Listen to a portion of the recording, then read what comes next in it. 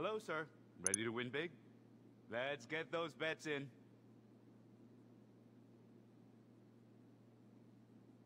Bets are now closed. We got us a blackjack and a 10. And 13.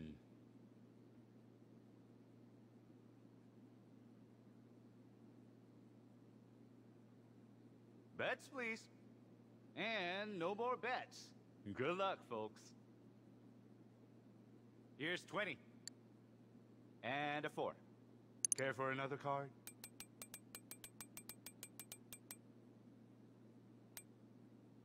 Bust. That is 15. Look at that. Dealer wins. If you're betting... Hey guys, TGKS Productions. So you just saw, I just bought the JB700W, the new uh, version of the JB700 that was added into GTA Online this past Thursday. It is based off the Aston Martin DB5. I believe there might even be some features from the DB4. But um, based off Aston Martin, uh, hence the name Dewbauchee JB700W. Dewbauchee is the car manufacturer, uh, Aston Martin in game. So I'm just going to open up all the doors and whatnot here, just see pretty much uh, what all can be controlled from the remote functions. But yeah, pretty much a just a newer version. Um, not even really a newer version in a sense, as we'll see. Uh, like I said, I'm going to customize the car and we're going to review it just like I've done in the past. But um, as you can see, that's pretty much everything opened up. You can control the remote functions, but I'm going to compare it a little bit more to the older version of this car. Um, I, I, barely even want to say version because it's very similar as you're going to see. But um, I'm going to take it for a little spin here. Just kind of always like to drive a little bit, little bit, or drive at least once before I customize it. Um, you know, not too much I can really tell here. I mean, I, I don't go in in depth really with the performance of this car. Like I said, I mainly just compare it to the to the older version or you know like I said I barely even want to say it's really an older version because there's very little changes to this car and like I said we'll talk about that. But for the most part I mean acceleration seems pretty good. Uh, speed seems you know pretty good as well. Uh, honestly it's nothing you know that's gonna be this is in the sports classics class uh, weaponized version of this vehicle. Um, what's interesting is that I'll have to see and you have to leave a comment if, if I'm wrong about this but I tried to actually get this and use this in a race. I was trying to. I, I, have a race made where I test some of these cars, and for whatever reason, I guess in the, even though this is a sports classics car, it would not let me pick this car. It would let me pick the original JB700, but it wouldn't allow me to pick this car. I was going to try to race it against my friends, so we ended up having to race it at the airport.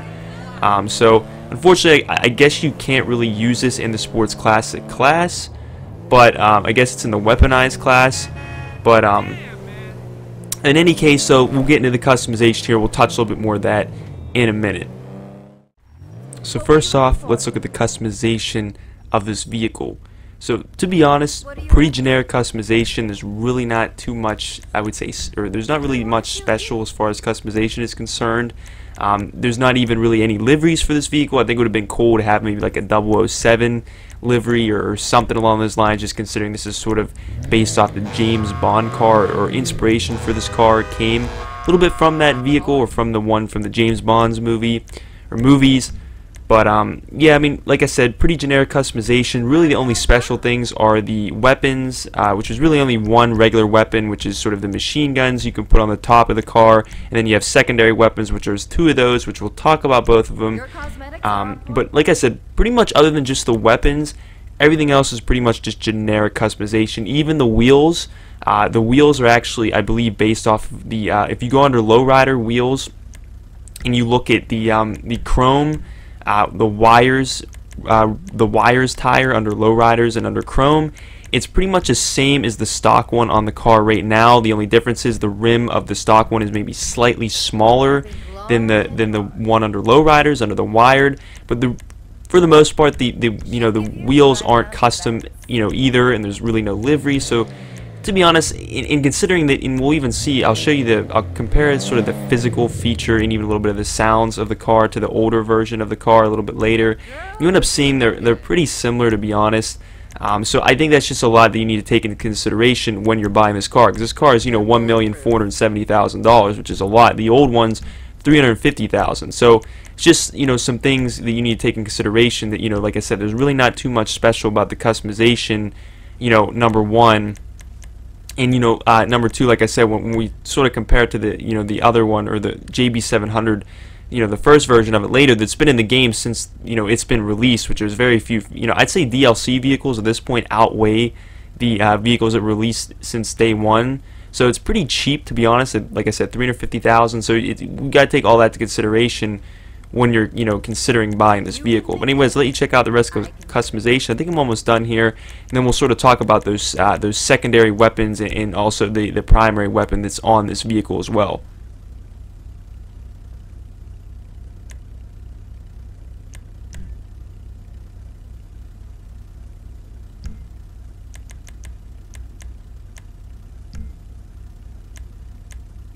Be your best you.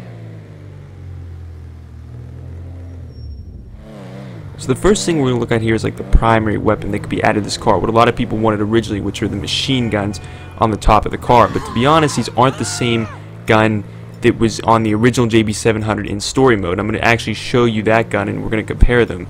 This one is more like the, the, the pea shooter type of guns that are on you know vehicles like the Night Shark and whatnot. So I'm a little bit disappointed, but I'll show you. You can see it here. I'm going to actually compare it to the story mode one here next. What I'm showing you here is a mission from story mode Pack Man. Where you actually get to use the weapons on the JB700 what you know pretty much wasn't allowed in GTA Online. And look at what you can even tell by the sound of the weapons that it's not the same. To be honest you end up seeing I'll show you the full clip here. This thing also had spikes too which the newer one has not exactly the same but it's somewhat similar. I actually kind of like these spikes better. I believe the arena war vehicles sort of have these spikes.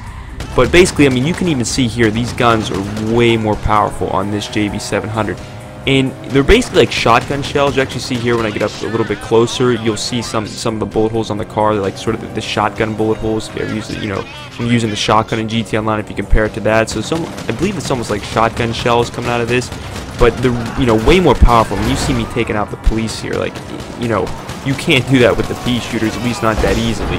Um, but you can see the shotgun, sort of the bullet hole on the back of that police car that looked like a shotgun, you know, bullet hole. So you can just tell here these you know these guns are way more powerful and they're not the same as the, as the ones in online. And that may have been to sort of balance it so I'm not going to complain but these guns are definitely way cooler than the ones that they added onto the GTA Online JB700W there's no doubt about that. They're definitely more powerful. Now sort of like the JB700 the original one this also has secondary weapons actually has two secondary weapons instead of one. As you see there I just dropped sort of a mine. After you hold right on the or you just actually not hold you press right on the d-pad it will release uh, one of two of those secondary weapons whichever one you applied. You'll see here I applied the spikes. I was able to pop the tire out of that Bravado Buffalo so you can apply spikes sort of like the one in story mode. Again it's not the same sort of spikes. I believe the arena war vehicles have sort of the upgrade of the spikes that are similar to the one in story mode the spikes uh, that are sort of released there in the form of a mine. One thing I will say, and there is one more secondary weapon, but if you actually watch the little teaser or trailer that Rockstar put together for this car, one thing I didn't really understand is they showed two cars exploding after dropping a mine.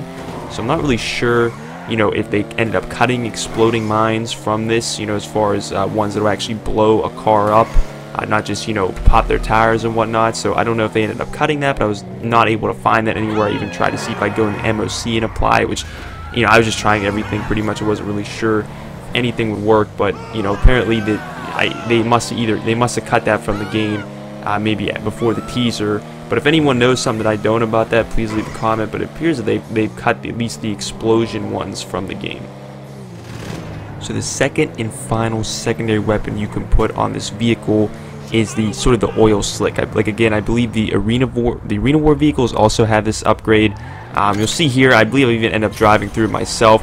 Essentially, what it does is it you know it's it explodes. It's like a mine again. It explodes, releases a lot of oil, and then you know pretty much essentially you know, if you're getting chased by the police or another player, they're going to lose control of their vehicle. Or if you go through, you're going to lose control of your vehicle. Um, so to be honest, I'd say if you were to pick between the two, if you ended up getting this vehicle, uh, I would definitely probably recommend that one over the spikes just because um, looking at it from you know both dealing with NPCs and players Uh, you know, most players have, for the most part, bulletproof tires. I'd say, or most of them uh, apply bulletproof tires to their personal vehicles, so the spikes aren't really going to do too much to their cars. Whereas if you have, at least I don't believe so. I don't believe it's going to pop their tires, you know, because they're bulletproof. But at least with the oil slick, you know, no matter whether they have bulletproof tires or not, you're going to be able to make them lose control if someone's chasing you. Same thing with NPCs, you're going to lose control of their car. Like if you're getting chased by the police or whatnot, you know, the police are going to lose control. So I'd recommend that one uh, you know, over probably the spikes. But those are pretty much the two secondary weapons you can apply. The spikes as well as the, you know, the oil slick, which I believe is a little bit more, it was a more expensive one, but in my opinion, definitely the one that's probably, you know, more worth it out of the two. So to compare it even more to the older version of this vehicle, I wanted to sort of listen to the engine revving and the, the engine tunes a little bit. So I'll let you listen to that to be honest, as you'll probably be able to, you know, as you'll probably decide yourself, I honestly couldn't see too much of a difference, but I'll let you listen to them and, you know, let you see what you think, but I really couldn't tell too much of a difference.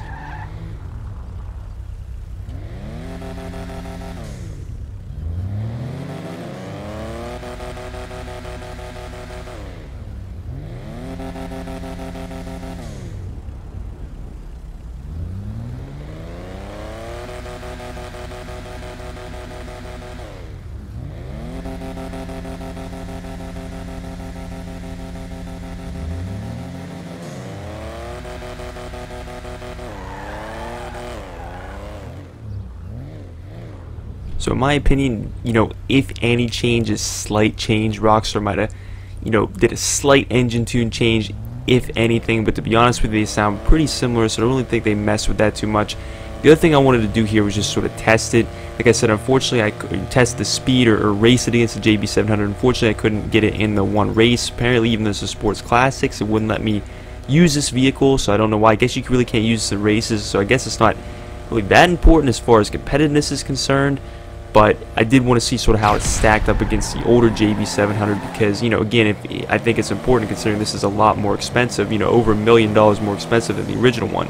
And you see right out of the gate here, it seems like the older JB700 might have a slightly faster acceleration, um, but overall, the uh, it appears that the JB700W, the newer version, has a, a higher top speed because you can see it's slowly passing the you know the older you know the original JB700 as the race is going on. I think if the track was a lot longer, uh, you know this the you know JB700W would probably even pass that car even more. So uh, you know obviously the runway is only so long, and unfortunately I couldn't pull it out or you know pull out the um, use this vehicle in the race. But in any case, I would say that the the the newer JB700 is slightly faster than the older one.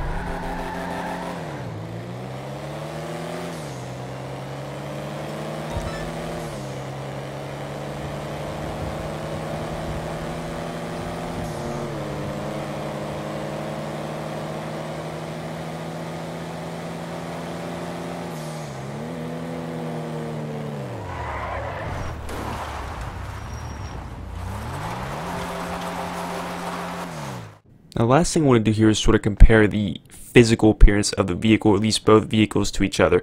Now, I apologize the lighting in here because this is my pretty much my garage in you know in my underground part of my arcade where you play in the Diamond Casino heist. Um, so lighting isn't the best, and the cars aren't the closest uh, together. But I can assure you, I walked around each car a number of times. Really could not tell a single difference, to be completely honest with you. The only difference you're really going to see here is the color. and we have different wheels and different colors on each of the cars but again you know if I really wanted to I could put the same wheels as well as the same colors on each vehicle. So you know again even you'll even see me get inside of each car. Uh, you know the interior of each vehicle is also the same. So again you know the car, as far as physical appearance is concerned, they're pretty much identical. I could not pick out really a single difference. If there is any difference, I completely miss it, and it's very minute, which means, you know, you won't even be able to tell. So for the most part, physical appearance seems pretty much identical. Uh, even the sounds of the car seem, you know, pretty similar, and even the performances uh, are, are fairly similar as well, as you saw. I mean, they were pretty close throughout the race, although the I would say that the newer vehicle has a higher top speed than the older, you know, JB700. The JB700W definitely has a higher top speed. However, from what I could see, or from what I found, I couldn't use this in a race. I mean, this is a Sports Classics car. I couldn't even use it in the Sports Classics class. So I don't know if you can even use this vehicle in a race. You have to let me know if maybe I missed something. But in that case, I don't really think really think top speed even matters. So to be completely honest, for the price of this car, since you're spending over a million dollars more for the newer version, just for a few weapons upgrades and you know some secondary weapons upgrades, which to be honest, I think that a lot of other vehicles in the game have similar weapons to that, like the machine guns. You know, the Night has you know similar weapons to that. Uh, even like the spikes whatnot, a lot of the arena war vehicles have similar, you know, upgrades to that, like the oil slicks and the spikes. And you got to consider when are you really going to use those weapons? You know, uh, you know, I think this personally, in my opinion, this vehicle is more of a show car. So I really wouldn't recommend buying this car. In my, you know, from my personal view, in my personal opinion, I'd really only recommend getting this car, you know, only if you wanted it for show. But there's a lot of other cars that are definitely, you know, gonna be way better than this car, and I think that you can save a lot of money not buying this vehicle. Um, you know, so that that's pretty much my personal opinion. I'd give this maybe like a four or five out of ten, just because it's pretty much identical to the older car, with just a few weaponized upgrades that a lot of other vehicles in the game have, and they really aren't going to prove that beneficial to you. And even like I said, the performance, the looks, all that are very similar to the old JB700. But in any case, guys, hope you found this video beneficial, and as always, have a great day.